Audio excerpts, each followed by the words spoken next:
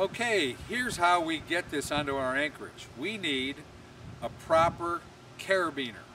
And people say, where the heck did that name come from? Uh, the name actually comes from the French carbine for the rifle, the old carbine rifles. This style of device that we call a carabiner uh, was originally invented for putting on and off quickly rifle slings. And in France, they were called carabines, the rifles were, and this, these were the carabiners.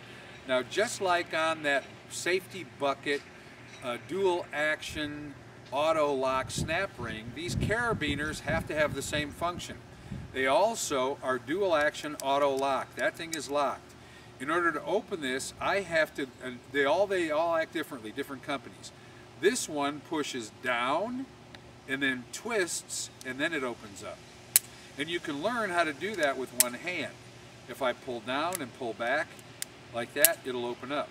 Down, back, like that, it'll open up. But once it's there, it locks.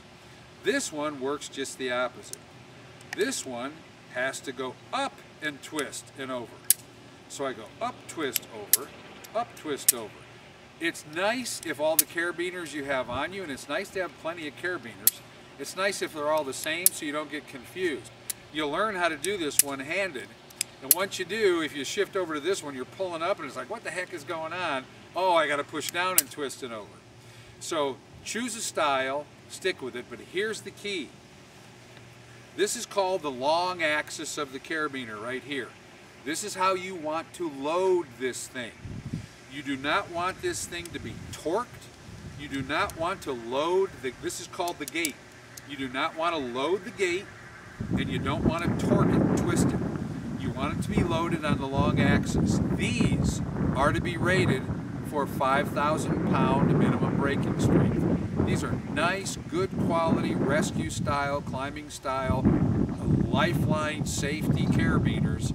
They're going to be more expensive than the little keyring carabiners you get in the store, but these things auto lock with dual action, and 5,000 pound minimum breaking strength along the long axis. This is also referred to as the spine of the carabiner.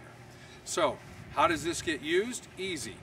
We do this, we put this into our bite, on our figure eight on a bite. Now we have something very similar to what we had before with our safety bucket device. This can go right to an anchor point. However, remember that with our safety bucket device, we had our fall arrest right here built into the end of the lifeline. There's another way we can deal with that. I'll be right back in a second to show you that. Okay, here is now how we are going to put our shock pack and our rope grab on. This is a shock pack that attaches to us on our D-ring in the back rather than to the anchor point. Still going to do the same function, but now I'm taking the shock pack with me. This rope grab can come on and off. The way that this rope grab goes on is first I have to take off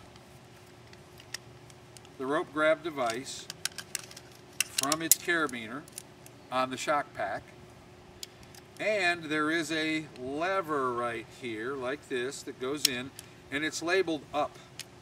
Up means towards the anchor point.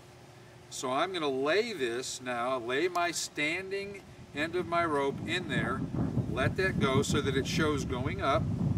And this guy, as long as I'm nice, unlike the other one that I have to squeeze, this guy will go up and down all by itself. That's another thing I like about this. All I have to do is pull on the rope. I don't have to squeeze anything. This rope grab goes up and down, but here's what happens. If I try to go down quickly, it, it locks. Now I can't go down. It's holding, that will deploy the shock pack, and it will roll out its 42 inches and away I go. In order to loosen this up, I have to come back up, slowly go down. Slowly up and down, and if I try to go fast, it grabs again and holds. I cannot push that down until I come back up and away I go. So this moves very smoothly and slowly up and down uh, rather than grabbing and I have to squeeze the thing to move the rope. And the rope is much smoother and kinder on yourself than that nasty old polyolefin rope. So now that I've got this done, I take the carabiner on the end of my shock pack, stick it back through that hole right there, and hook this up on my dorsal D-ring, maybe, hook this up in my dorsal D-ring, and I'm ready to go. So, this is an alternative to the safety bucket kit that we showed you earlier. Much higher quality, good for at least a couple of years of repetitive use, um, and I like it myself. Now though we have to talk about a few more alternatives to anchorage. What if I don't have the ability to put those little brackets into the roof? What if I don't have an engineered anchor? I then need to find what's called a structural anchor.